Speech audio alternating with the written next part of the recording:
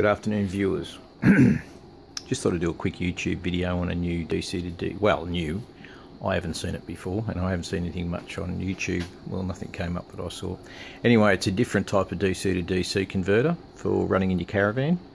Will charge your uh, charge and maintain your battery properly from the Anderson plug on the vehicle through uh, to the caravan and it will also provide a solar input with a multi-stage output so either of those will charge and maintain your battery correctly, which a direct connection will not do and will deteriorate your battery uh, as, it, as it does not charge the battery properly.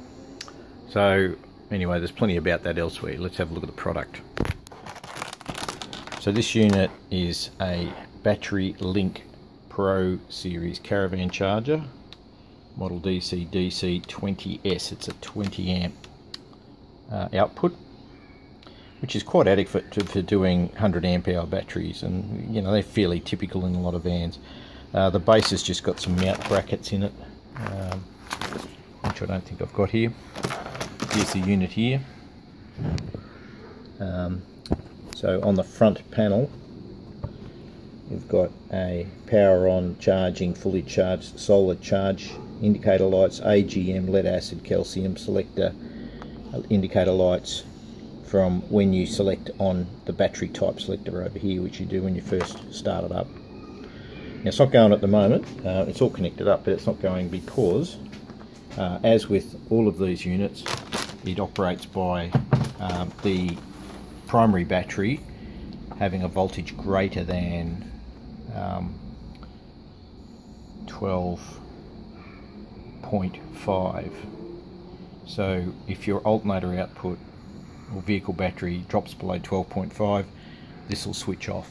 So you've got to have decent cables running between your tow vehicle and the caravan because it's quite a long run it's, you know maybe 10 meters of cable. Should be using around 10 mil on your on your vehicle probably 10 mil millimeter square cable. Um, and then something similar on the through to the battery just so your voltage stays above 12.5 because this will pull your pull the voltage down once it starts.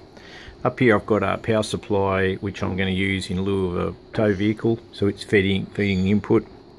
I've currently got the battery at 11.88 volts. I'm using this electronic load to um, discharge it. Um, it's currently drawing 10 amps.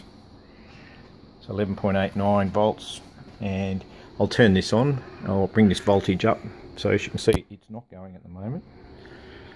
I'll just bring this up to, sorry, down to say 13.8. As you can see, it starts very quickly. My Projecta takes a couple of minutes to start up and start charging. This thing's already doing it. And on here, the input's at 22 amps in to provide around 20 amps output. Battery voltage is um, coming up to 12.8, so it's very quickly pulling that battery voltage up. I'm just going to drop the electronic load off which will allow the battery voltage to uh, recover quickly. So it's at 13.6 at the moment. 13.8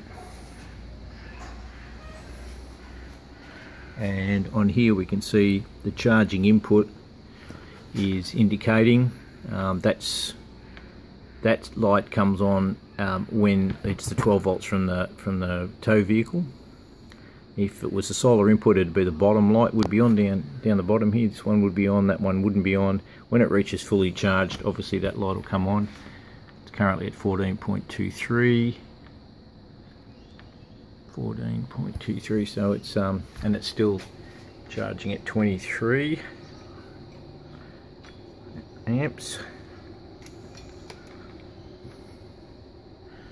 Um, okay my voltmeters stopped working there. So it's it's uh, bringing this voltage up and it does pulse charge as uh, as it shows you. So it's bringing that up quite quickly. Now the current starting to you'll see that's changing on switching. This isn't fast enough to see the whole thing but what it's doing is this. It's um, pulse charging. So it's run up here comes up to 14.4 holds that voltage for a while then it drops down to 13.8ish or something around that to maintain the voltage once it's uh, fully charged. So you can still see it's pulsing here, but it's getting close to that point where it will, and this volt, this current is coming down as the charge state increases. So at 14.3. You can see we've got AGM gel selected. As I say, that was I selected that over here. You can have a standard lead acid, which is a starting type battery, which you don't use for a caravan, obviously. And um, or you could have the later model calcium battery, which requires a higher output.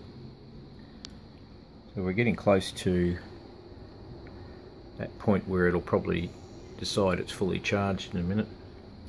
Um, so that's it working. So just have a look around the back here. Um, she's getting slightly warm, that's all. On the back here we've got four terminals. We've got the DC input, we've got a solar input, we've got a common ground or negative input, and we've got a charger output terminal. Screw terminals, look, they're fine, probably makes it nice and simple to install actually. Uh, Projecta has a whole bunch of 8 mil cable coming or 6 or 8 mil cable coming out which is uh, a little bit complicated. You're going to got to put Anderson plugs or something on it to um, to terminate it. These are fine. I've seen these on power supplies in caravans and they're five, six, ten years and they haven't budged. So you can do them up with a spanner as you can see. Um, there's this bracket kit, I'll have a look. So here's your brackets you get with it. These just um, mount just for mounting over the top.